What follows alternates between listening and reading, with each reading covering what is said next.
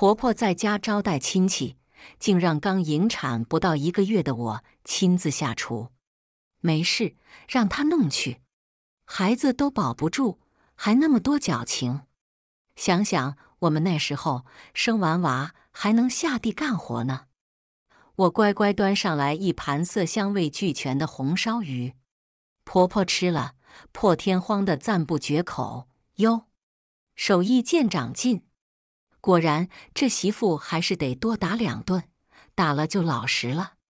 公公用筷子戳下一层花里胡哨的鱼皮，哎，我怎么瞅着这花纹有点眼熟？我从后厨端上两条还在张嘴的鱼头，变魔术一样掀开布帘，是我公公养的两条爱不释手的极品金龙鱼。我笑着说：“别着急，慢慢吃。”锅里还炖着老祖宗呢，老祖宗是他们家养的一只乌龟，当个宝似的养了二十来年，平时恨不能刷洗的都抛光了，每天鱼虾肉贝便招法味。我蒸的时候都觉得那肉质鲜美的，赶上国宴了。我公公嗷一声瘫坐抢地，我这两条鱼十万多块钱啊，天杀的败家小蹄子！我婆婆抄起烧火棍子就要打我，我纵身跑进里屋，把我脑血栓半身不遂后瘦得不足八十斤的老公举过头顶，走你，来呀，互相伤害呀！李良，李良，哎呦我的儿子，唐颖你个杀千刀的，你敢扔我儿子！我婆婆抱着被我摔得七晕八素的李良。冲我破口大骂，我笑得又疯又邪。你信不信我还敢扔你孙子呢？说着，我抱起儿童车里三岁多的小侄子，高高举过头顶。我婆婆魂飞魄散，大姑姐哭天抢地。唐莹，唐莹，你别乱来，你先把小宝放下来，咱们有话好好说。你要是敢松手，你就是杀人。你要坐牢，要枪毙的！我抱着小侄子，轻飘飘的往上一抛，故意在半空中摇了个花手，再稳稳接住，放回到童车里。小孩子不懂事，笑咯咯的，还以为我在逗他玩。大姑姐却已经吓得屁滚尿流，赶紧一把将孩子搂过去，缩回角落。枪毙？可我有精神病啊！我踢过来一把椅子，大辣辣往上一坐。我笑着看向我的公婆，还有一大桌子亲朋好友。唰一声，从身后拽出来一把剔骨尖刀，所有人都吓傻了。我却不紧不慢的又拽出来一只土豆，切土豆，先削皮，切掉脑袋，剩个屁。这儿哥是我临时想出来的，今天这个单压。一定要压上。不管怎么说，咱也是读过书的精神病，气质这块一定拿捏。亲朋好友们都吓傻了，你看看我，我看看你，最后也不知道是谁最先放了一个屁，接下来便一发不可收拾了。肚子，哎呦，我的肚子好疼！唐颖，你，你在菜里下毒了，疼死我了！不行了，我要去厕所。我看着满地乱窜的亲戚们，抢厕所的，撒泼打滚的，满脸通红，忍到翻白眼的，我笑到快抽搐。只是一点泻药而已，村头野地哪不行？肥水不流外人田吗？站起身，我将李良从地上拖起来，塞进轮椅里，推回里屋。他口眼歪斜。目光惊恐，吱吱呀呀，不知道在说些什么。我凑近他耳边，我听不清。哎，算了，反正我也听不清你说什么，要这耳朵也没什么用。于是我笑着拎起他一只耳朵，用刀背在上面反复拉割。我听不清，所以切他的耳朵。问我什么逻辑？开什么玩笑？我要什么逻辑？我可是间歇性精神病啊！李良吓得屎尿齐流，含含糊糊求我放过他。你说什么？啊？你说你现在同意离婚了？老公，我站在李良身后，一手捏着他的脖子，另一手拿着剔骨刀，在他的头皮上一寸一寸游走。可我现在舍不得你了，怎么办？下半辈子咱们相依为命，让我好好照顾你吗？他做完开颅手术后，暴瘦了四十多斤，连头皮上都没有赘肉了。刀背在上面轻轻一磕，当当响。我笑眯眯地吹了吹刀刃，开始给他剃头皮。李良扑通一声滚下轮椅，拼命挣扎着往外爬，却被我一把拖回来，像拎鸡崽子一样拎起来。去哪呀？求救啊！别白费力气了，外面的都在抢厕所，没空理你。我笑着摆弄着手里的匕首，一步步走近他。啊！自从得了精神病，整个人都精神多了。日子过成今天这样，全怪我唐颖脑子进了水。当初我跟李良谈恋爱的时候，我爸妈就都不同意，说他这人看着油腔滑调，不脚踏实地。实在不像个良人，况且还要嫁到千里之外的小县城，爸妈就我这么个独生女，当然舍不得。可惜我恋爱脑晚期，被李良的甜言蜜语哄得晕头转向，非他不嫁。结果一脚踏进火坑后，我才明白这野菜我不挖谁挖的道理。起先婆家对我真的是千依百顺。因为谁都知道我手里有一百万的嫁妆，一时间借钱看病的、孩子念书的、家里盖房的，七大姑八大姨几乎踏破了门槛。我单纯、愚蠢、良善、圣母，这点嫁妆很快散完，然后他们就露出了本性。先是李良他妈说我怀孕怕有影响，自作主张扔了我带过来的宠物猫。我离家千里，小咪是我唯一的念想。我哭着找了三天三夜未果，一气之下跟我婆婆吵了几句。没想到她立刻做的撒泼揪头发，还恶人先告状说我殴打她。我那孝顺的好老公李良不分青红皂白，上来就给我一个大耳光。那时候我怀孕才三个月，动完手。李良立刻在我面前跪下祈求，痛哭流涕，赌咒发誓。我坚持要离婚，他就把他家亲戚全拽过来，轮番堵在院子门口，像邪教开会一样给我洗脑，连哄带吓。我心疼肚子里的孩子，又想到自己举目无亲，无依无靠，于是我心软了。我以为生了孩子以后，她和婆家人就会对我好，就会太太平平过日子了。然而家暴只有零次和无数次，距离李良第二次对我动手，也就只隔了一个星期而已。李良酗酒厉害，喝多了就打我，打完我继续喝，喝完打得更凶。最后一次，他一脚把我踢下台阶。摔掉了肚子里五个月的孩子，可就在我终于下定决心必须要跟他离婚的时候，老天竟然跟我开了这样荒唐的一个玩笑。李良喝多了酒，突发脑血栓瘫了。他意识清楚，但说不清话，双眼无神，不能自理的堆在轮椅上，任凭我怎么要求，就是不肯点头答应跟我去办离婚。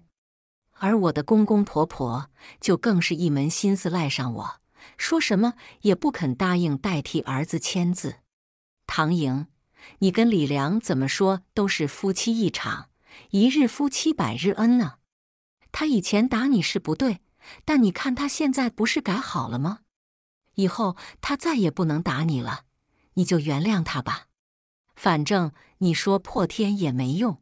你唐莹是我们李家名正言顺的媳妇，李良现在变成这个样子，你当老婆的不照顾他，谁照顾？这是你的责任。我报警，警察说这算家务事，管不了。我找妇联，妇联和稀泥说，既然家暴问题已经解决了，让我多包容一点。我找律师想起诉，律师说这个情况第一次起诉肯定得不到支持，因为法院判定离婚的标准是感情破裂，而且能作证的都是李家这边的亲戚，他们大多都坑了我的钱，谁会愿意我离婚成功把嫁妆索要回去？他们完全可以串通一气，说是我自己不小心摔下楼梯的。家暴举证困难，所以我要想判离，至少还得起诉两到三次，两年至少，三到五年都有得等了，而且很难得到财产支持。三到五年，还特么净身出户，我怕等不到三五天就要被他们一家子奇葩折磨死了。我引产过后身体虚弱，恶露不止，长奶不停。婆婆只煮一锅粥，扔在我房门口，馊到连苍蝇都不肯叮。身心饱受重创的同时，李良在轮椅上凑热闹似的跟着一起大小便失禁。门外是公公的催促，婆婆的谩骂，大姑姐的阴阳怪气，侄子的哭闹不休，小叔子打游戏的高频噪音。门里是骚臭味连天、瘫痪的家暴老公哼哼唧唧的哀嚎声，狼环虎似的生存环境夺走了我最后一点生存的希望。我想逃，被他们一家人抓回来，四个人分别抓着我的四肢，将我牢牢按住，一顿毒打。我想死，可我凭什么自己去死？我想拉着他们全家一起死。可我凭什么一条好命配上一家子烂人？就在绝望触底之前，我突然想到了我爸留给我的那个盒子，打开来，里面竟然是一张精神疾病鉴定证明。一瞬间，我泪崩如雨下。这可真是父爱如山，崩地裂呀！从现在复仇开始，然后就到了今天，我婆婆家请客。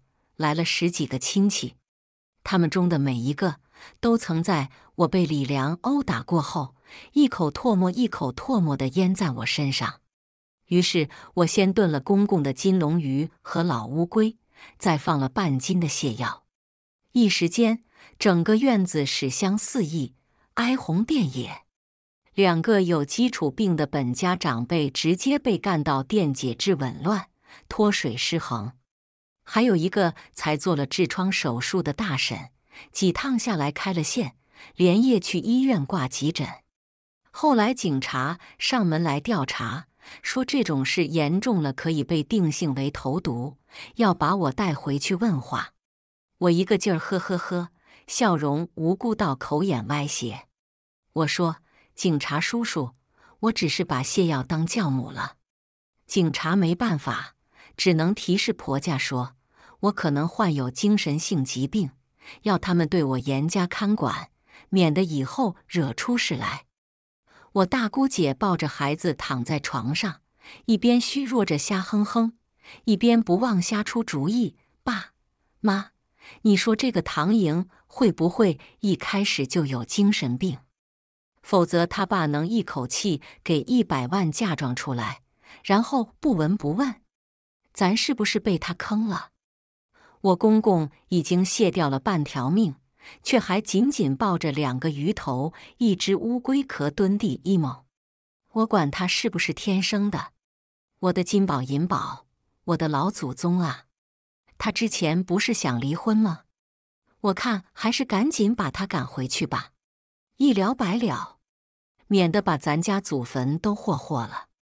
我婆婆脱水到面如土色，连骂人的力气都小了很多。凭什么？他在咱家白吃白喝大半年，连个蛋都没下出来，还把儿子祸害成这样？不行，他必须留下伺候李良。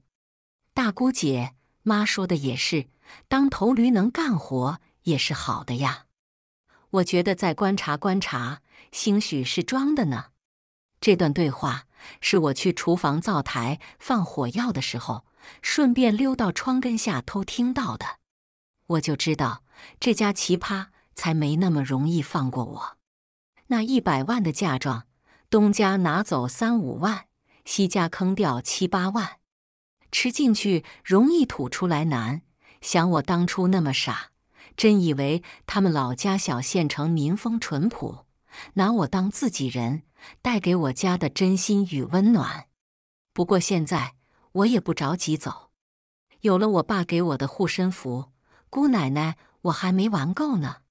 爸妈大姐，我敲门进去，挤出几滴鳄鱼的眼泪，真对不住，我也不知道我今天是怎么了。感觉身体和脑子都不受控一样，让你们受罪了，我真的太过意不去了。你们放心，我以后一定好好照顾李良，好好伺候你们。等李良康复了，我还要给你们生个大胖孙子。求你们千万不要赶我走。我爸妈说我是嫁出去的女儿泼出去的水，你们把我赶回去，我可就没活路了。一家人七扭八斜的撑起身，再次面面相觑了好一阵。我婆婆，你看我说的吧，这当媳妇的就是得好好调教。唐莹，知道错了就算了，以后你可得给我好好的，把李良伺候好，知道吗？赶紧回屋给他洗个澡，擦擦身。我点头如鸡啄米，妈，我马上去。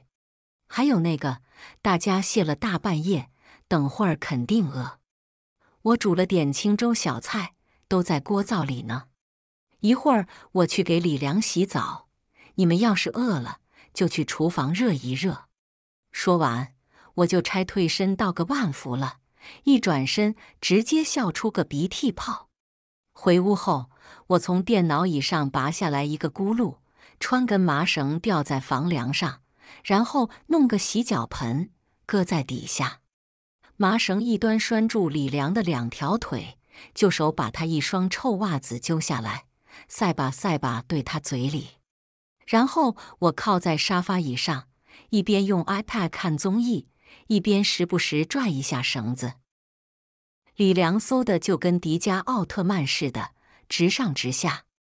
我一般每隔三五分钟会把它从水桶里吊上来喘口气，当然这个频率取决于综艺搞笑的尿点在哪里。李良叫不出声，呜里哇啦的挣扎，我乐得嘎嘎笑。直到三岁的小侄子不知什么时候溜到我房门口，很显然，我和李良的游戏引起了他的兴趣。小舅妈，你在玩什么？我。我在复习功课。定滑轮可以改变力的方向，但不省力；动滑轮省一半的力，但不能改变力的方向，且费距离。小侄子摇头说他听不懂。我乖，等你上初中就懂了。小侄子，小舅妈，你看到我的摔炮了吗？过年时候买的，还剩一包。我眨眨眼，嗯，我没拿。我见都没见过，更没有把炮里的火药倒出来抹在灶台上。砰！话音一落，厨房炸了。我抱着小侄子进厨房的时候，我大姑姐满身满脸都是黄澄澄的南瓜粥，那口大铁锅扣在地上滴溜溜的，像极了今天寿终正寝的乌龟壳。大姐，咋了这是？唐莹。大姑姐烫得满脸泡，要不是因为虚弱的撕不动我，我猜她肯定是想搬起那口锅砸我的。但以防万一，我专门把她儿子顶脑袋上了。又是你干的好事，唐莹，你到底想怎么样？我一脸无辜，大姐你冤枉我了，这真不是我干的。不信你问小宝，小宝你告诉你妈。你在找什么东西？小宝奶声奶气：“我在找摔炮。”我对喽，我说：“你看，这么小的孩子，你给他买这么危险的东西，肯定是一不小心扔灶台里了，是不是？”我公婆还有小叔子都闻声赶来，估计这会儿全家都饿了，叫我大姑姐过来热点饭。没想到一进厨房，这满地南瓜粥的场面，梦回今天中午的盛宴重现。几个人条件反射般，你一呕，我一呕。我婆婆李娟，到底怎么回事啊？大姑姐妈。肯定是唐莹教唆小宝把摔炮扔灶台里的。我说：“大姐，你这么说可就没证据了。你们自己问问小宝，我刚才跟他说什么了？”小宝小舅妈说：“定滑轮能吊死人，动滑轮吊不死人。看吧，小孩子不会撒谎，但是会胡说八道。我的天！”李良，我一捶脑袋。丢下一家子人，飞奔回卧室。李良，刚才一爆炸，我拎起小侄子就跑厨房来了，忘了手里的绳子一松，李良直接头栽桶里了。已知水桶的容积是十八点四升，李良的脑袋大约三点五公斤，人类窒息的极限平均是五点六分钟。求。李良要用多快的速度喝完水桶里的水，才能不被淹死？李良，李良，我一把将男人薅起来，拍脸压肚子，一顿捶拍暴打。李良被我捶得连翻白眼，哇哇往外吐洗脚水。我婆婆心疼的抓地，唐莹，你要干什么呀？你，快停手！你要把我儿子弄死啊！妈，我一脸无辜的解释：“这是我跟李良的小游戏，呵呵，情趣小游戏。他就喜欢被我绑着这调调。”眼看一屋子人目瞪口呆，我也是奇了怪了。当初李良不顾我怀着身孕对我拳打脚踢的时候，他们不也劝我说：“打是亲，骂是爱，夫妻之间的一点暴力小情调，有必要闹到报警？”疯了，疯了！我公公指着我的鼻子：“唐莹疯了，肯定是疯了，这早晚要弄出人命啊！”我见状，赶紧扑通一声跪在我公公面前：“爸，我真的不是故意的，我不知道我做错了什么，但我以后一定什么都听您的。回头我就去徐寡妇那给您再要两条鱼、三条王八回来，我赔给您。”求您千万别赶我走，徐寡妇。我婆婆脸色一绿，你不是说你那两条鱼是老张送你的吗？什么寒光寺里养的，还被经书开过光的？我眨巴眨巴眼，妈，您还不知道吧？咱爸心好，见徐寡妇一个人忙活那个海鲜摊太辛苦，经常过去照顾她生意。我婆婆直接炸了，好啊。你个老不死的，在我眼皮子底下竟然敢玩这花花肠子！钱呢？那十万块钱你是不是都给小寡妇花了？我打死你个臭不要脸的！我看得胆战心惊，心说可别呀，别真打死了。当初公公说要买两条金龙鱼镇宅子，钱可是从我嫁妆里挪的，你打死了他！我这钱跟谁要去啊？第二天一早，我婆婆带上大姑姐，押上我公公，到隔壁去找徐寡妇算账了。临走前命令我好好看家，记得给昨晚通宵打游戏的小叔子做早饭。人都走了以后，我拿出笔记本写写划划：金龙鱼十万，拖拉机一万二，四叔家盖房子借了三万。五婶做手术拿了四万八，本家修了个水库借了十二万，小叔子的同学投办厂房还从我这拿走了六万多。想当初做一个看婆家的面子，又一个大家都是乡里乡亲，结果在我挨打被虐的时候，一个个都在和稀泥，帮亲不帮理。我越想越气，咣咣两脚踹在李良身上。你是不是傻逼？让全家人花着你老婆带来的钱，再看你打老婆的热闹，一家显眼包，活该倒大霉。说，我怀孕前你说拿去跟哥们做生意那六十万，到底哪去了？说不说？啊？说不说？我一顿闪电五连鞭外加流星连环踹，把李良揍得跟个惨叫鸡似的。堵堵堵！有人敲门，我气呼呼跑出院子。谁？一大清早的，打扰老娘训狗。哟，嫂子呀！来人叫杨泉，是李良的发小，长得贼眉贼眼的。如果说李良属于肚子里坏，那杨泉绝对是明着理阴。杨兄弟有事，我直不愣盯着他。杨泉拎着两瓶酒，一只鸡，来看看梁哥，这不快过节了吗？梁哥怎么样了？你说这好端端的人，怎么说病就？我皮笑肉不笑。瞧你说的，哪有什么看着好端端的，都是皮下骨子里早烂透了。轮椅上的李良却突然变得异常激动，手舞足蹈地指着杨泉，又指指我，然后再指指杨泉。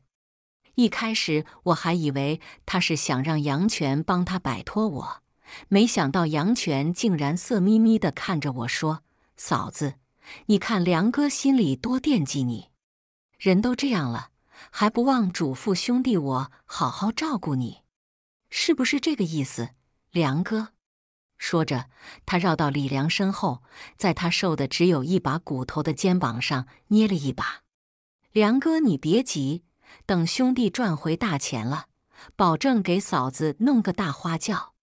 这下我终于明白了，原来李良从我这儿拿走的六十万，说是跟发小一起投资做生意，就是给这个杨泉啊。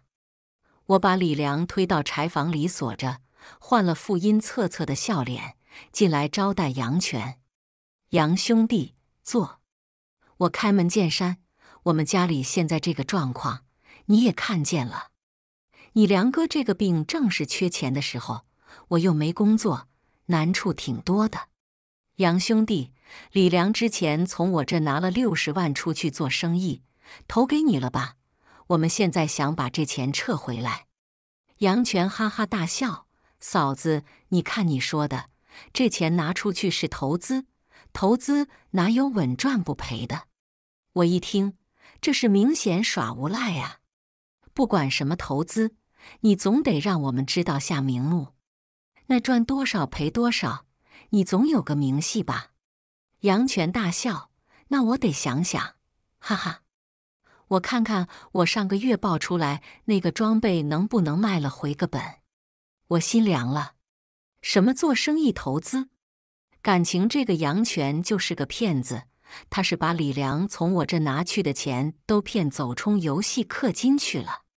杨泉，我告诉你，今天你不把这笔钱吐出来，哟！杨泉摆出一脸无赖相，嫂子，我梁哥是给我写欠条了，还是签认资协议了？你有什么资格说是借的？凭什么要我还？你有游戏账号吗？你有我的充值记录吗？说着，他伸出咸猪手，在我手臂上轻轻捏了一下。说实话，像你这么性感漂亮又重情重义的女人，实在是极品了。只是梁哥都已经变成这样了，你跟着他后半辈子能有什么希望？你看，要不这样，只要你跟了我。见我没有反抗的意思，他干脆大着胆子凑过来，上手就要摸我的脸。我感动的直飙眼泪。杨泉，你可真是你梁哥的好兄弟。你等着，嫂子洗个澡先，等下在西房那边等你哈。我用后脑勺都能看到杨泉兴奋的搓手手的样子了。现在李良已经这样了，拿给杨泉这笔钱。我估摸着是很难一说一地要回来，那我不管谁跟我拿的，我找谁要。杨泉耍无赖，李家跑得了和尚也跑不了庙，精神病还讲武德吗？不过耍无赖的同样有耍无赖的代价。我换上一件性感吊带裙，跑到了西院小叔子的房间。这废柴打了一晚上游戏，鸡叫才睡着。我婆婆还叫我给她做早饭，拉倒吧，吃屎他都赶不上热乎的。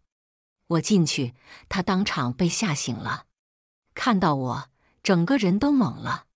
嫂嫂子，我嘘，我说你先别叫，嫂子跟你玩个游戏。估计这逼孩子多半以为自己正在做春梦，吓得一动不敢动。不动正好，动了我怎么下手？打不准，打死就麻烦了。砰！我一烧火棍子敲他后脑壳上，当场把他打得灵魂出窍。心肝宝贝，好了没有？你可想死我了？杨泉在门外吼急个不行。我嘤嘤两声。叫他进来，杨泉迫不及待脱衣脱裤，掀起被子就往我身上扑。突然之间，他表情一僵，紧接着就是高八度的尖叫。我用床单擦去剪刀上的指纹，然后将剪刀稳稳握在昏迷的小叔子手里。看了一眼血泊里打滚的杨泉，我从容不迫地从他身上迈过去。然后当然是打电话报警了呀！我一边发抖一边擦眼泪。警察叔叔，事情就是这样的。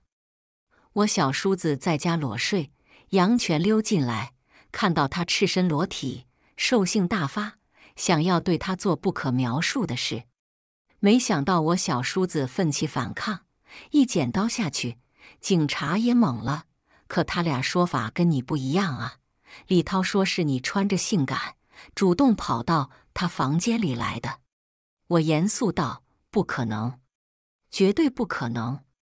你们可以看看我小叔子的游戏账号，他的角色就睡个穿着吊带裙的性感女战士。他每天昼夜颠倒，熬夜干地，肯定是出现幻觉了。”警察，那杨泉也说是你主动打扮性感。邀请他进房间的我，因为杨泉也出现幻觉了，也在做春梦啊！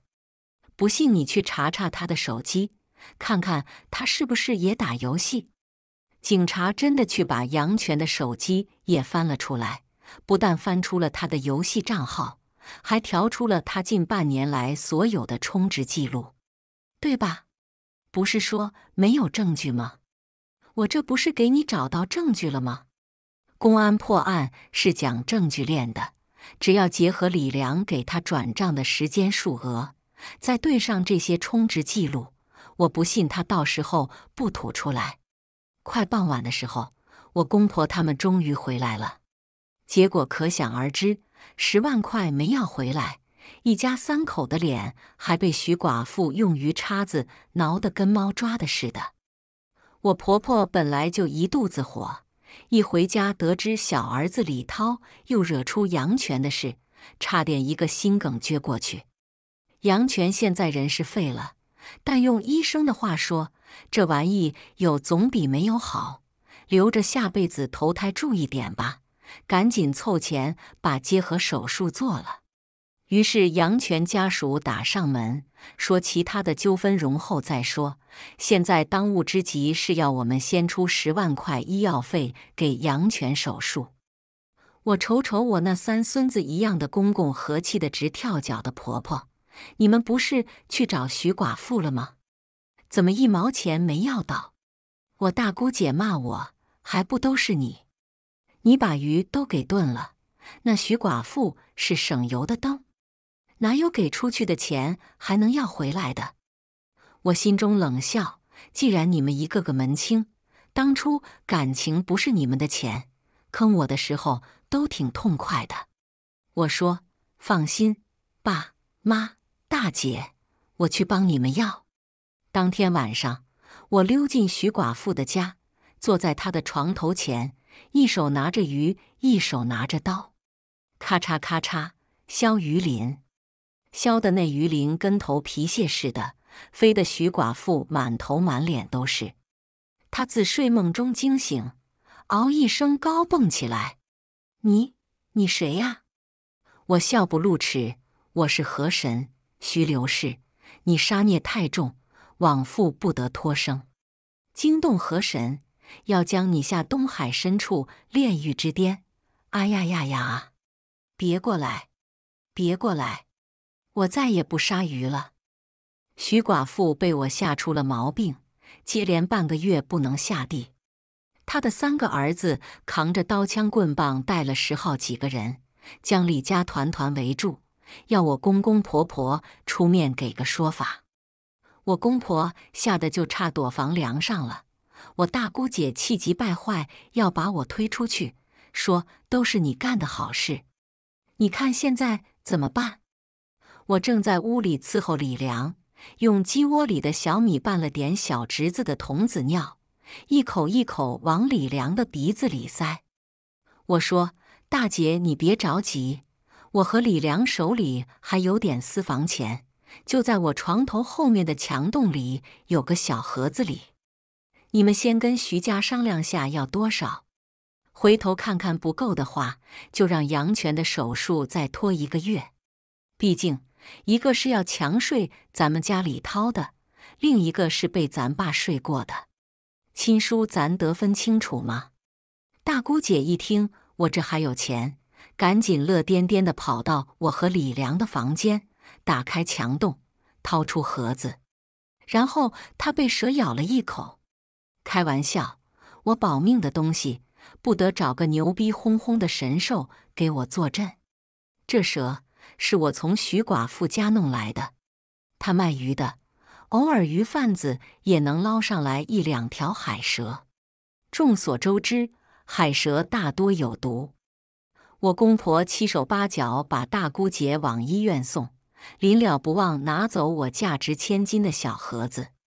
在医院挂水的时候，我大姑姐肿着嘴唇，跟他爸妈说：“我怎么越觉得这个唐莹越不对劲儿？”我当时就在隔壁偷听，倒也不是偷听，我是过去给她换药水的。我婆婆，你不是说她手里还有钱吗？打开看看，盒子里还有存折末。我公公江同市第一人民医院精神科病历。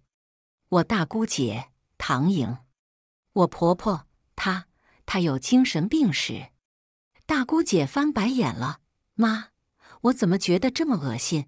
好想吐啊！我不行了！我婆婆尖叫：“李娟，哎呀，这嘴怎么肿得香肠一样啊！”医生，医生，快看看！我笑眯眯的从后面探出头来：“没事，花生油过敏了。”我给她换了点药。我婆婆大骂天杀的唐颖：“你个精神病，疯子！”你要害死我女儿啊！我要报警抓你！我抠抠耳朵啊！你说对了，我就是精神病啊！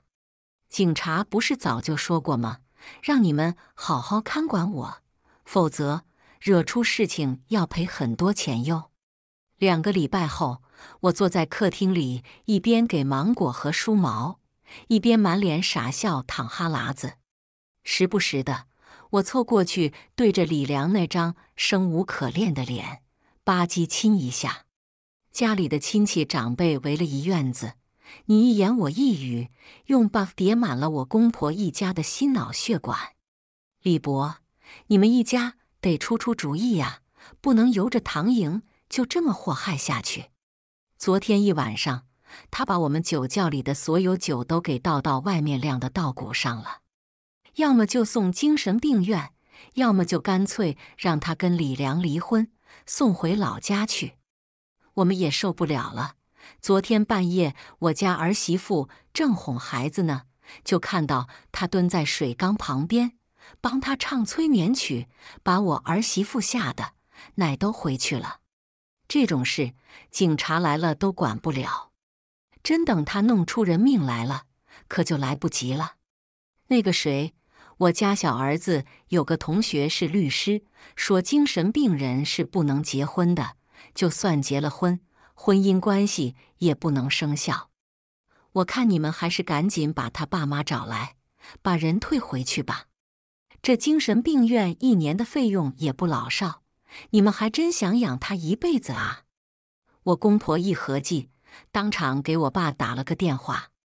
结婚一年了，他们从来没主动跟我爸妈联系过，为什么？当然是心虚了。欺负我的时候，全家上阵，那叫一个舒爽顺滑。现在实在不敢留我了，想起来找我爸了。我爸一口拒绝，这不行，嫁出去的女儿泼出去的水。唐莹现在是你们李家的媳妇，我可是给了一百万的嫁妆呢。她的后半辈子吃喝拉撒就交代给你们了。另外，我女儿的病历可是在公安系统上备案过的，你们可别想故意虐待她哦。见状，我扑通一声又给我公婆跪下了。爸妈，我生是李家的人，死是李家的死人，你们千万别赶我走，我以后肯定好好的。我做错了事，我改。我，对了，我上次剩下的半包泻药放哪去了？啊，我刚才去后面泡茶的时候，好像不小心摔到水缸边了。不过没关系，我给你们准备了公厕路线图。你们可以自主选择去最近最方便的。一听这话，一屋子亲戚邻里脸都吓白了。老李呀，你快把他赶回娘家吧！人带了多少钱？你们赶紧给带回去。这疯子真的不能留。人家爹都说了，公安系统备过案的一个疯子，你跟他玩命，你玩得过吗？足足花了半个月时间。我公婆将周围亲戚朋友借了个遍，才终于把我的一百万嫁妆凑齐了。我爸亲自过来接我，被奉为上上宾，一脸不耐烦地数着钱。我在一旁抱着小侄子跳小青蛙舞，大姑姐吓得几次上前都不敢。轮椅上的李良依然是一副生无可恋的模样。行吧，唐莹，跟爸走吧。我挤出两滴眼泪，不嘛，爸，我不想走，我舍不得李良。我爸嘿嘿一笑，亲家公，你看我们莹莹对李良感情多深，要不这样，我们把李良一起接走，让莹莹有个玩伴。你们放心，我是绝对会像你们照顾莹莹一样照顾好李良的。李爸李妈吓得哟。一把抱住儿子的轮椅，不不不，不用，亲家走好，我们的儿子我们自己伺候，自己伺候就行了。坐在车上，我一手牵着我爸，一手牵着我妈，只觉得过去那一年就像一场梦似的。我是有多蠢，才会把这一切都辜负了？还好，爸妈的爱从未放弃我。下面请听另一则故事。被出轨后，我那富婆的快乐生活。渣男老公在我孕晚期出轨了，他以为我会为了孩子忍气吞声，花着我的钱去找小三，软饭硬吃好大的脸。可是我才不会掉在这棵歪脖树上，多享受享受富婆的快乐，不香吗？金钱不是万能的。但钱确实能解决生活中百分之九十九的问题，比如月子里我花钱如流水，产后康复、美容美体全上阵；孕期那个肥胖丑陋的我，用钱堆回了怀孕前的身材。有天晚上，月嫂在另一个房间带着孩子，周琦抱着枕头对着我讨好一笑：“老婆，你现在出月子了。”我晚上想和你一起睡，我只微笑着看着周琦。周琦，滚回你自己的房间！大晚上的，别逼着我抽你。周琦在我孕晚期的时候出了轨，他是那么的肆无忌惮，整夜整夜的不回家，仿佛就等着我发现他的奸情。曾经的美好全都变得狰狞。我歇斯底里闹了一大通，让他和小三断了，可他却只觉得我面目可憎。事实已经发生，只要看到他，我就觉得像吞了苍蝇一样恶心。我想斩断和他的牵扯，打掉孩子，浑浑噩噩到了医院门口才清醒过来。月份太大了，我也会没命的。孕晚期，一个孕妇无力反抗，只能捏着鼻子生下孩子的时期，一切都巧合到让我怀疑周琦早有预谋，早就计划好拿着这个孩子当饭票，一辈子趴在我身上吸血。可是周琦，他拿捏着孩子，妄图用母爱绑架勒索母亲一生。他凭什么觉得一个女人真的会爱一个只能证明自己被欺骗、背叛且无力反抗的孩子？我要离婚，他不同意。可我凭什么要忍受一个出轨的丈夫？在一个午后，月嫂带着孩子出门散步去了。我躺在阳台的摇椅上昏昏欲睡，手机突然震动，一个陌生的号码请求添加我的微信。我通过了好友申请，然后对面顶着粉色卡通人物的头像接连不断发来几条信息：“姐姐，不被爱的女人才是第三者，硬抓着一个不爱你的男人，你不觉得自己太悲哀了吗？”只会用孩子绑住男人的女人，真的没有很尊严。姐姐，这是齐哥送给我的，不知道你是用的什么牌子的护肤品呢？该不会是大宝吧？呵呵，我点开图片，是一套。啦啦，想了想，我让保姆在我的梳妆台那里找一找。生性喜欢剁手，用得上用不上的东西，我买了一大堆，自己都记不清了。要是少个一套两套的，我还真发现不了。很快保姆就出来告诉我，他没有找到我要的绿色包装的盒子。于是我心里就有了数，约上几个闺蜜，我们开着车就来到了周琦的单位。之前即使知道对方是周琦单位新来的员工，我也想着自己家的狗要吃屎。我只需要管教自己家的狗就行了，没想到我的不计较却被当成了软弱可欺。小姑娘很好认，毕竟朋友圈里都是她的自拍九宫格。她还没来得及开口，几个闺蜜就上前制住了她的手腕。我一把揪着她的头发就左右开弓，几巴掌下去，她就被我打得脸上一片红肿。尖叫引来了不少人围观。周琦跟在人群后面，看见我，连忙跑了上来。我扫了一眼围观的人群，大声说道：“周琦，跪下！”周琦上来扯住我的袖子，还想求情：“老婆！”我一把抄起旁的的绿植，就朝他头上砸过去。我 T M 的叫你跪下！众目睽睽之下。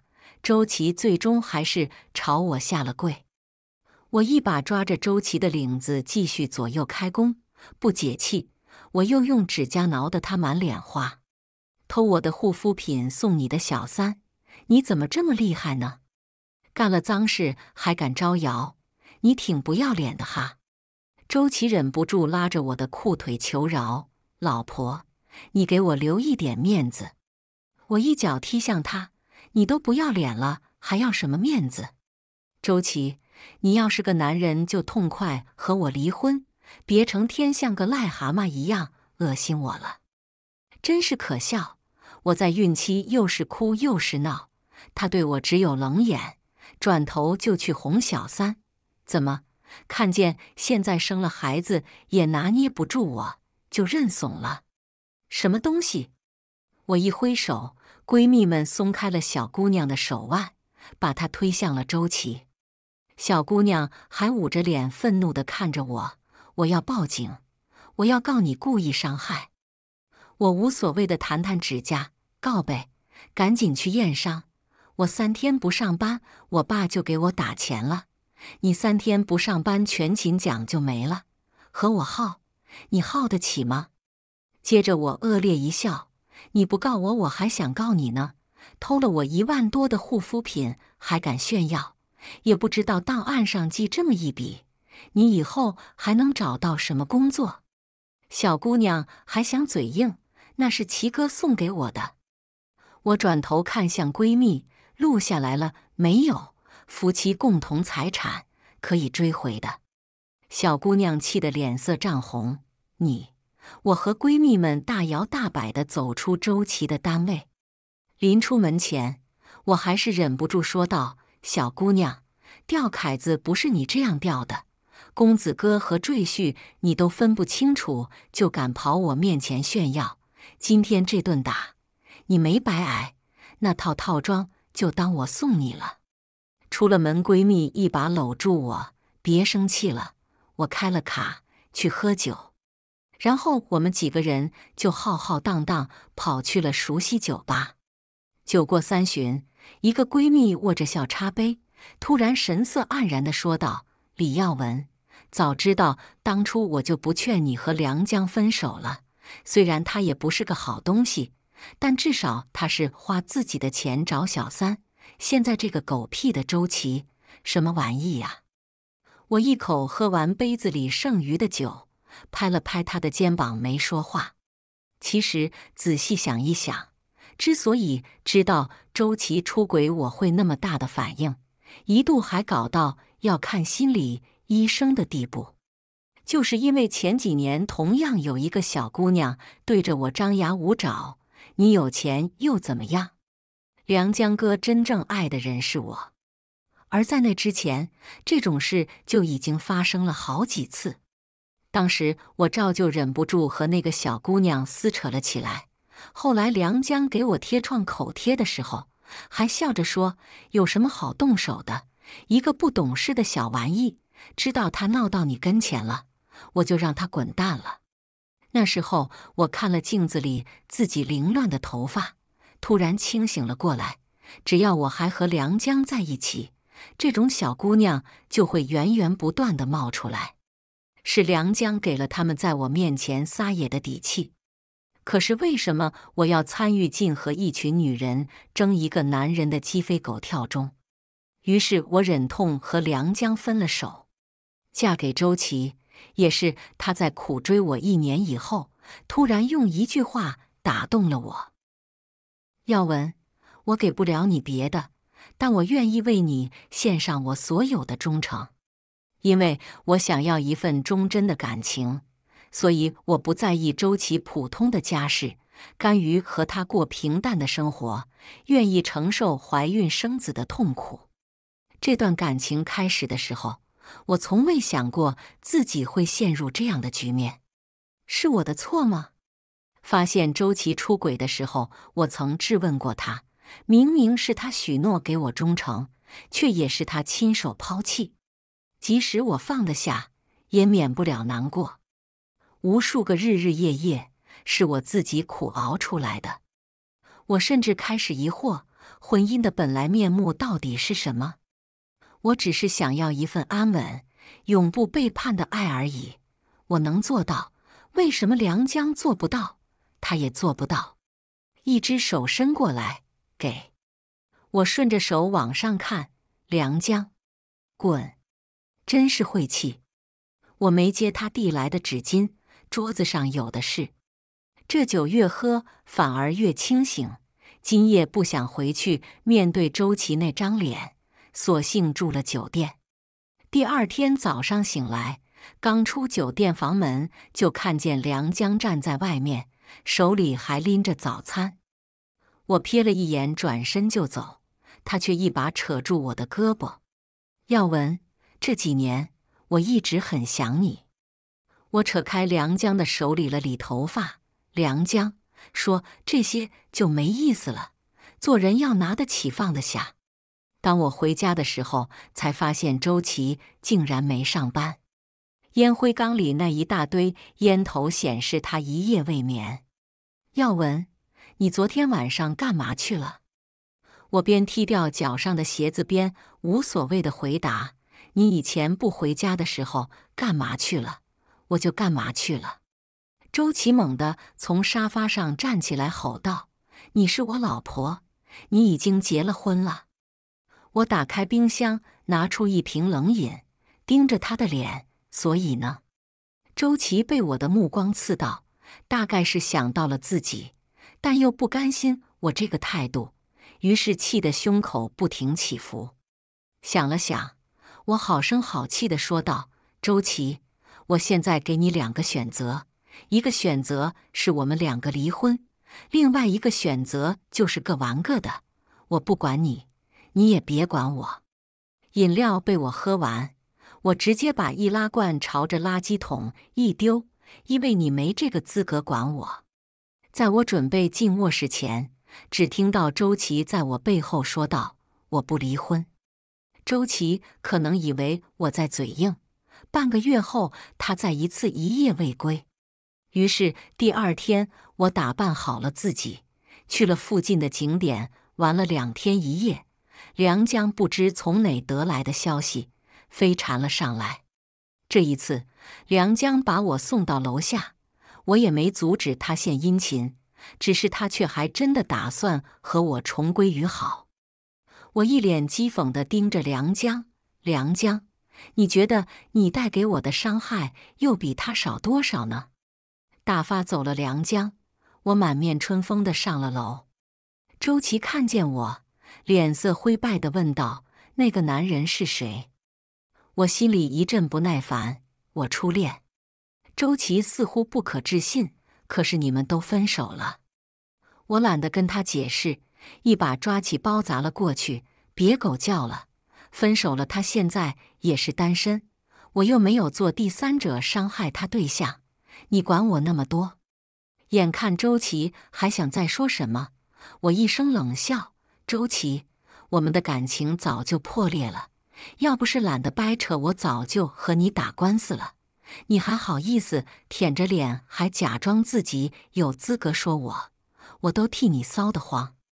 下午和闺蜜团一起做美甲的时候，某个闺蜜看着我无奈叹气：“你和那个王八蛋到底打算什么时候离婚呢？要不要我给你介绍一个律师？”我选着假片头也不抬的说道：“等孩子两岁吧，两岁以前优先把孩子判给母亲。我不能接受那个孩子，一看见他我就呼吸急促，想发脾气。那孩子跟着我，注定要受罪。周琦虽然是个人渣，但对孩子比我有耐心，他照顾孩子的时候也比我多多了。与其让他跟着我，父爱母爱都缺失。”不如给周琦养，至少还能得到父爱。这也是我唯一能为那个孩子做的了。这一世注定母子情分浅薄，要怪就怪他有个人渣老爹。周琦管不住我，又不敢把这些破事告诉我爸妈，因为他知道我要是透露出想离婚的口风，我爸肯定拍着桌子支持我离婚。于是某一天。他喝得满脸通红的回来，抱着我的腿哭诉道：“老婆，我错了，为了孩子，我们以后好好过日子，好不好？”我盯着他哭哭哀求的姿态，有些恍惚。原来这么难看，我那个时候也是这样吗？我没理他，接着做我自己的事。抹完护手霜，回头一看，他还挡着路。我一脚踢开他，接着端来一盆冷水，直接浇在他的脑袋上。晚了，大鼻涕流嘴里，你知道甩了，已经没意义了。以后别给我借酒，在这装疯卖傻。周琦，你别让我瞧不起你。说完，我一把把盆扣在周琦脑袋上，就转身去了另一个客房睡觉。保姆和月嫂早就见怪不怪。他们一个淡定地哄着孩子，一个打扫着屋子，连个眼神都没有分给周琦。第二天，我和几个闺蜜约着吃饭，路过一家咖啡店，一个闺蜜突然用头点了点，要闻周琦那个王八蛋又在偷吃呢。我转头看了一眼，小姑娘梨花带雨的扑在周琦怀里。而周琦也一脸心疼的抱住了她，呵，这就是他说的好好过日子。果然，男人的嘴骗人的鬼。当天晚上，周琦回来，突然苦口婆心地对我说：“耀文，你已经当妈了，为了孩子，就原谅我，安安心心和我过日子吧。”那时候我正在跑步机上健身，看了周琦一眼，只觉得他天真的可笑。我当妈了，就只能捏着鼻子忍受他出轨，这是谁告诉他的？那个蠢货小姑娘吗？到底是谁给她的自信？女人当妈了，就只能压抑着自己为孩子当牛做马一辈子。我喊来月嫂，周姐。你自己说说，平常我在家里干嘛？孩子的事我管过多少？月嫂看了周琦一眼，明显不想参与我们的战争。我微笑着提醒月嫂：“周姐，我给你发的工资，你看他干什么？离了我，这个赘婿还能请得起你？”周琦听到我再次说他是赘婿，脸色变得涨红。月嫂终于磕磕巴巴的开了口：“李小姐没管过孩子，除非孩子哭了，她才会叫我赶紧让孩子别哭。”按停了跑步机，我拿着毛巾擦汗。路过周琦身边的时候，我告诉他：“周琦，你以为我生了孩子就跑不了了？你那点小心思早就被我看透了。”去洗澡前，我最后通知了一声周琦，还想骑在我脖子上拉屎。你和你的小姑娘就等着好看吧。第二天早上，周琦畏畏缩缩不敢出门，我简直没眼看。我当初怎么就昏了头嫁给这么一个东西？我咽下一口牛奶，告诉周琦：除非你和小三以后都不上班了，否则早晚都有这么一天。周琦听了这话，踌躇了半天，最后还是垂头丧气出了门。估摸着快到中午的下班时间了，我和闺蜜带着几个人出发，然后一排豪车整整齐齐堵在周琦公司的大门口。保安大叔过来让我们把车开走。我塞给大叔一沓钱，还有一张名片。大叔，我也不是故意为难你。你们领导要是骂你，你就说车主说了，事情不办完他不会走的，他也可以车砸了。这上面有我律师的电话。保安大叔不动声色地接过了钱，接着就去找他们领导汇报了。周琦的同事看见我过来，都像见了鬼一样躲在一边窃窃私语。小姑娘看见我身子，连忙往墙角一缩。接着又被闺蜜们制住了双手，拉了出来。我接过闺蜜递上来的牛奶，就迎头倒在小姑娘的脑袋上。你给周琦出主意，让他恶心我？你以为我是面团，能让你拿捏？小姑娘，有没有人告诉过你，我们有钱人脾气不好的，不计较是懒得发脾气，计较起来了就不是那么一回事了。一盒又一盒的牛奶倒在小姑娘的头上身上，小姑娘被牛奶呛得不停咳嗽，看着我的眼神终于带上了一丝恐惧。我扔掉牛奶盒子，擦干净手，冷笑一声：“你别怕，我今天不打人。”接着我从包里翻出一叠资料：“你们家是住金源小区吧？来，你看看这些资料有没有遗漏的地方。”资料里，小姑娘的身份信息，包括她父母工作的单位，还有她和周琦的聊天记录，全都整整齐齐。聊天记录里，他们就像一对热恋的情侣。他叫周琦老公，周琦叫他宝宝。自然也有一些需要打马赛克的照片和露骨的话。我瞄了一眼，没看到周琦的身影，对着小姑娘一脸怜悯。你真可怜，我昨天就告诉周琦我要让你们好看，结果他也不通知你，只顾着自己躲了，让你来顶雷。有好事群众高声叫道：“周琦今天早上说去拜访客户，根本就没来公司。”哦，我冲着那个围观群众一握拳，多谢了。然后我拉过一把椅子，就坐在小姑娘面前。问她这次要不要报警？要报警，我就赶紧打电话叫律师过来了。小姑娘摇了摇头，我不报警。我轻轻拍了拍她的脸，真乖。然后从包里数了一千块钱，扔在地上。这是你这身衣服的赔偿。出了周琦公司的大门，我心里还是膈应，今天没抓到周琦。看了看，发现周琦的车停在不远处。我拿出一根球杆，就冲着他的车玻璃砸了过去。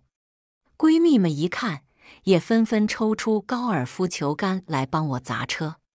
保安大叔一脸紧张地看着我，我安慰道：“大叔，你别怕，这是我那个软饭老公的车，他花我的钱找小三，找不到人，我就拿车撒撒气。眼看车子被我们砸得不像样子了。”我招呼闺蜜们一声，开车走人，爽了。晚上周琦回来，竟然主动提起了离婚的话题。本来还想着等他回来抽他一顿的，看来没这个必要了。我兴奋地和他谈起离婚的条件。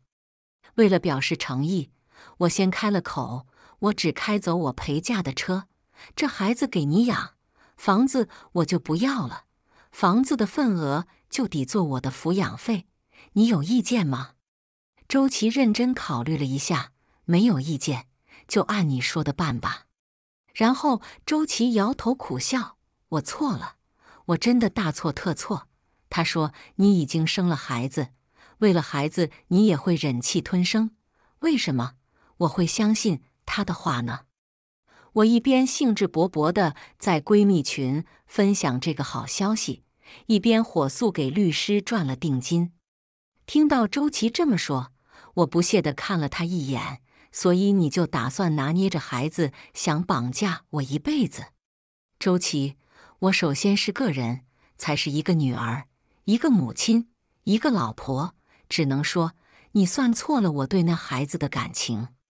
当初孩子生出来。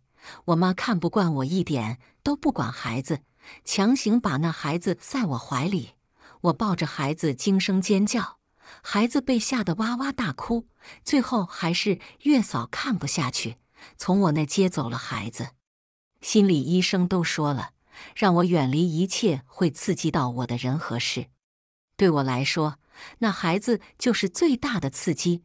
一看到他，我就想起了自己面对周琦出轨。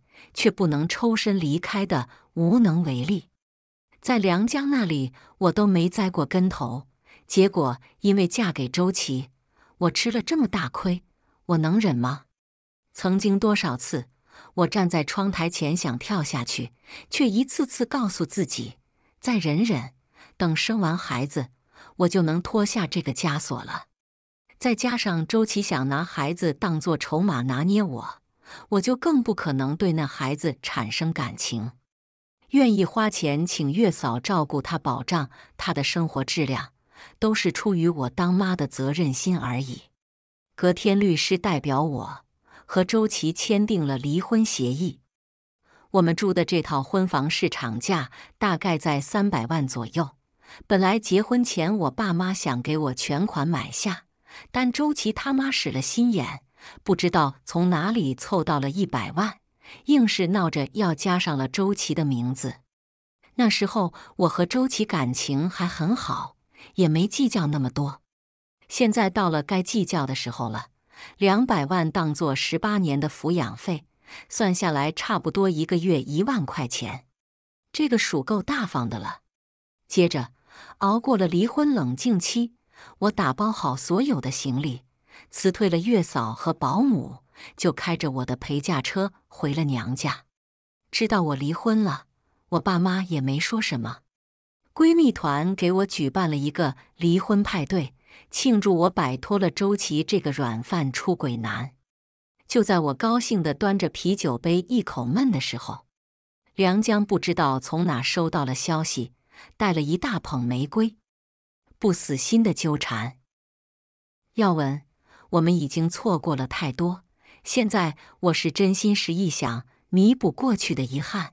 你愿意给我这个机会吗？他好像想起来什么，又补充道：“你放心，以前的我都断了，现在我已经收了心，以后绝对对你一心一意，绝不背叛。现场一瞬间变得特别安静，所有人都等着看我会怎么做。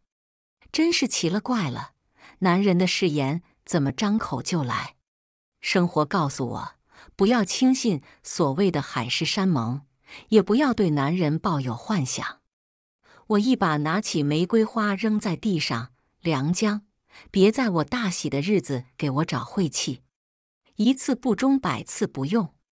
周琦是这样，梁江也是。梁江走了，我们一群朋友接着奏乐，接着嗨。闺蜜突然把我拉到一个帅哥面前。他和我悄悄咬耳朵。我表弟刚留学回来，单身，得了吧，封心所爱。我比了个手势，说真的，不试试。李耀文，你不会因为一个周琦就不敢爱了吧？当然不是。我告诉他，恋爱嘛，我肯定还会尝试。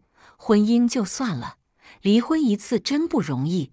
我又美又有钱，势必不会在一棵树上吊死。如果和你小表弟谈了，将来要是分了，不是给咱们之间平添尴尬？派对快散的时候，我知道我喝高了，因为我非让所有人都不许走。听我李天后一掌歌喉，汪汪队，汪汪队，我们都是土匪，手握一把 K O。另一个喝高了的闺蜜拿着麦克风，幸灾乐祸的吼道：“李耀文，你唱歌都把自己唱吐了，哈哈！”其余人赶紧捂着鼻子把我们拖出房间，快走快走！再待下去我们也要吐了。因等车的时候发大疯，也不知道闺蜜是怎么把我弄来她家的。第二天早上在闺蜜家的客房醒过来。我昏头昏脑，脱下 bra 真空上阵，就想去洗澡，刚好在浴室门口撞到一个男人围着一条浴巾出来，看着水珠顺着八块腹肌流到浴巾那里，我瞬间清醒，忽然想起来闺蜜家好像不止收留了我一个人，这位大概是闺蜜表弟的同学，昨天晚上跟着表弟一起来凑热闹。我不尴尬，尴尬的就是别人不慌不忙的吹了个口哨，哇哦，他了我的胸口一眼，也啧了一声。耍流氓不成反被调戏，我哼了一声就走进了浴室。老娘的身材好得很，什么眼神？洗完澡后，我出门回家，路上突然有人给我发了一条好友申请，点开一看，姐姐，我叫夏高阳。我们重新认识吧。虽然早上的事有点尴尬，但我也不至于恼羞成怒，对他避而不见。更何况他长得还挺帅，我对好看的人都很偏爱。我倒是没想到小姑娘还有胆子来逗我。一看我，他就得意洋洋，伸出来左手秀他手上的钻戒。至于钻戒的大小，我这么说吧。我怀疑周琦现在改名叫周汤姆了，似乎感受到我的嘲讽。小姑娘虽然脸色窘迫，但依旧嘴硬。戒指只是一个形式，反正那套房子现在的女主人是我。姐姐，多谢你这么大方，没和齐哥争那套房子，当然也便宜了我。我憋得满脸通红，没说话。小姑娘满意的得胜归去。等她走远了，我才忍不住笑出了眼泪。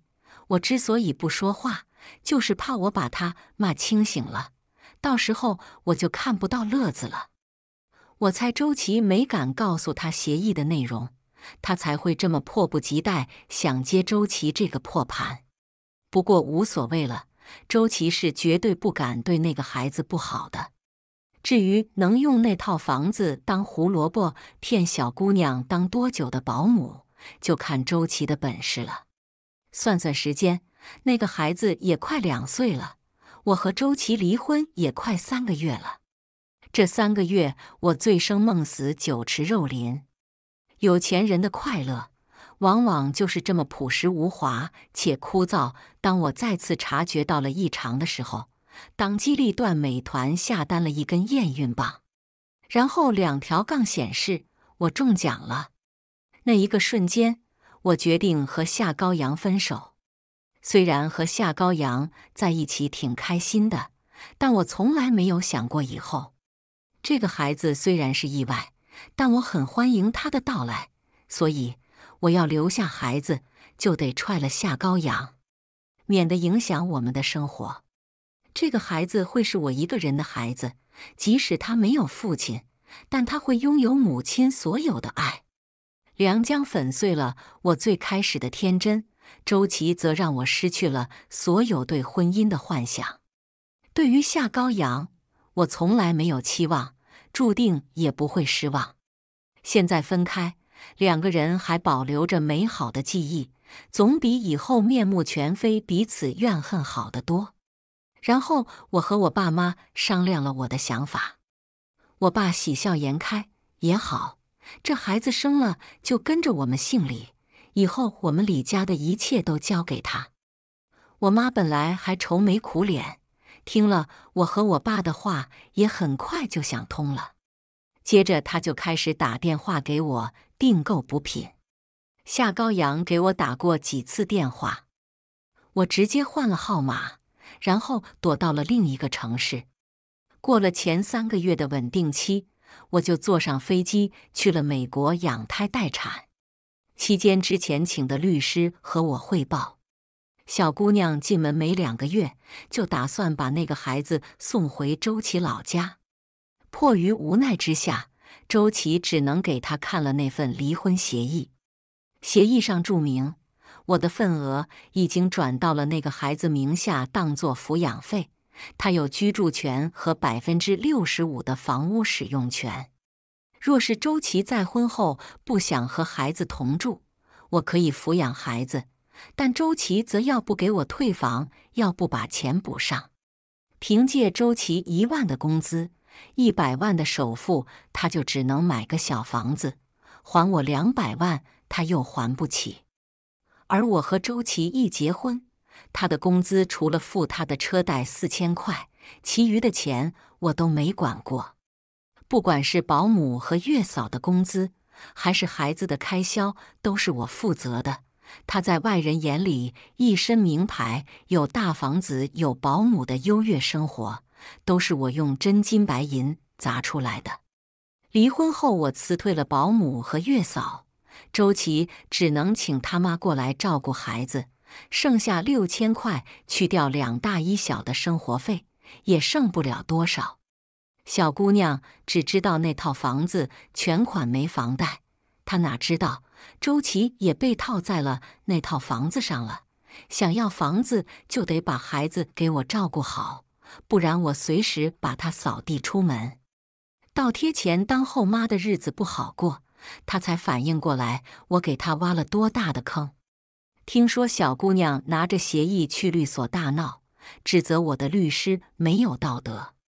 律师只是冷冷地转述了我的话：“李小姐说过。”他有钱不代表他傻，如果有疑问，可以用法律手段来解决，我们随时欢迎。我之前就点过小姑娘，弄清楚公子哥和赘婿的区别。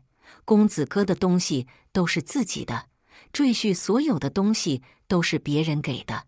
周琦想软饭硬吃，多大的脸啊！小姑娘自己被周琦的假富贵迷了心窍。怪不到我身上。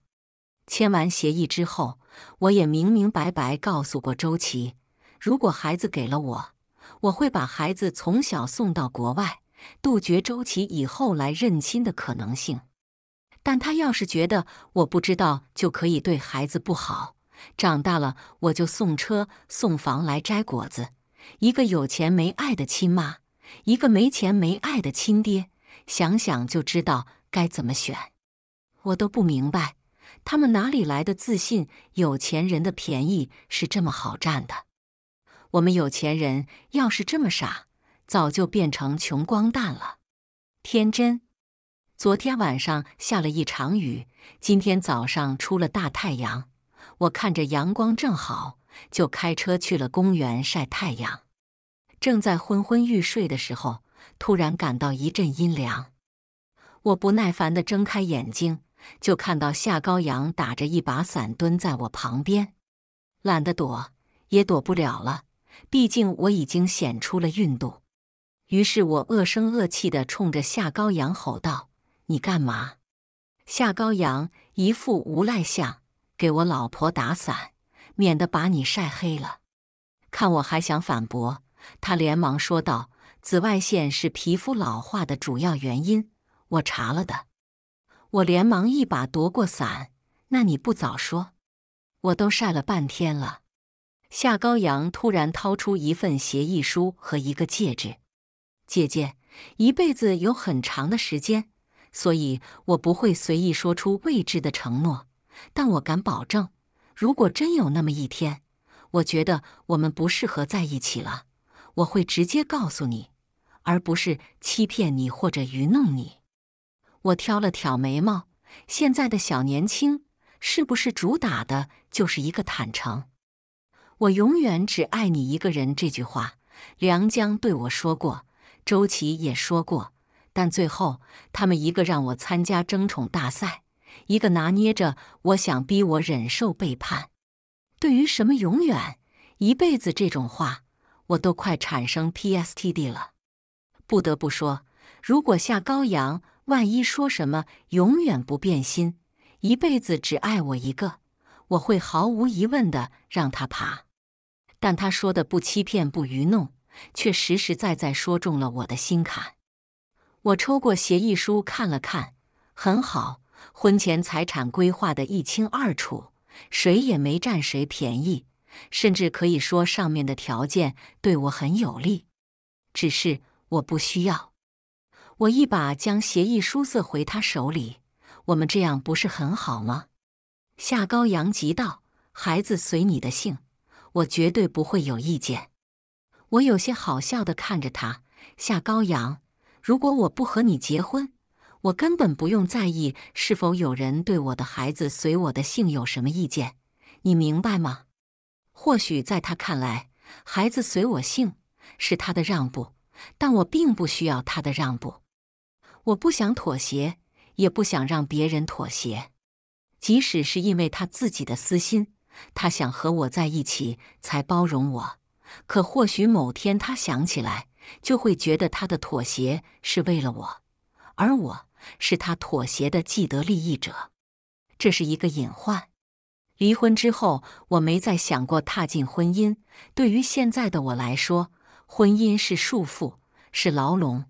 我之前想不开，一头扎进去。事实证明，那时候的我想错了。我要样貌有样貌，要钱有钱。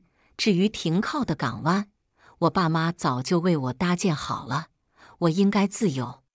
后记和夏高阳分手后，我陆续交了几个貌美的男朋友，不过后来都分手了。夏高阳继续出国深造，见我又成了单身。见缝插针的嘘寒问暖，成功成了我吃的第一颗回头草。没办法，这家伙越长越好看了，还带了点成熟禁欲的味道，正正好好戳在了我的审美点上。某天，我摸着他的腹肌，问他是不是那天早上看到我的好身材才动了心。夏高阳想了想，也有一部分的原因，但最开始。是因为你喝醉了，非逼着我们听你唱歌。你是觉得我那个样子有点可爱？夏高阳沉默了一瞬，然后不好意思的说道：“不，我是觉得你太二了。”然后就觉得和一个搞笑女在一起应该会很开心。然后沉默的人变成了我。夏高阳，你找打。正在我和夏高阳打闹的时候。突然听到熟悉的声音。我之前有过一段短暂的婚姻，那时候不懂事，听信了渣男的花言巧语，以为是遇到了真爱。我转头看了看，是熟人小姑娘啊！只见她穿着一条白裙子，还弄了一个鱼骨辫，整个人看过去就是一朵惹人怜惜的小白花。对面的男生一副理工男的经典打扮，黑白格子衬衣、双肩包，还有个黑框眼镜。不过从理工男戴的手表上来看，这理工男是有点东西的。我又听了听理工男的自我介绍，大厂上班，年薪可观，不愿意老实人被糊弄。我喝完杯子里的柠檬水，便扶着肚子来到他们那一桌。呀。小姑娘，你和我前夫离婚了，出来相亲。小姑娘一看到我满脸苍白，连忙借着喝饮料掩饰慌张。理工男还在一脸懵逼的看着我和小姑娘。我一拍他的肩膀：“哥们，你这个相亲对象，在我没离婚的时候就和我前夫勾勾搭搭，上位了几个月，发现捞不到好处，才离婚的。你先巴拉巴拉。”你家底有多厚，禁不禁得住他捞吧？理工男看了我和小姑娘一眼，背着双肩包就告辞了。不好意思，公司还有事，这顿饭我请了。眼看理工男走了，小姑娘恼羞成怒：“你就不能放过我吗？”夏高阳连忙护在我和小姑娘中间，我挽着夏高阳的手臂，转身就走。看我心情呗。说不定哪天想起来这事了，我就把那些资料寄到你结婚现场去了。看着小姑娘一脸吃瘪的表情，我心情大好。等菜上来了，就忍不住拿起来筷子。那天晚上，夏高阳开车带我回我爸妈家，突然在小区门口冲出来一个人影，扑在车子面前。夏高阳连忙踩下刹车。接着忍不住破口大骂：“有行车记录仪，你别想着碰瓷！”然后那个人过来拍窗户，我才认出来是周琦。周琦一看到我就扒着车窗不撒手：“老婆，我真的错了，求求你和我复婚吧！我不是人，是畜生，你原谅我好不好？”说完，周琦不停扇着自己的脸。我饶有兴致地看了半天猴戏，才骂了他一句：“去你妈的，周琦，给我滚！”夏高阳一把关上车门，下去就揪着周琦的领子给了他一拳。我好不容易上位成了姐姐现任，你上来就要复婚？夏高阳上车，重新启动了车子。我探出脑袋对着周琦喊道：“周琦，你要养不了那孩子。”那我就把那孩子接回来，把房子也收回来了。他站在原地不动了。车子继续前行，两旁的景物飞速后退。现实啊！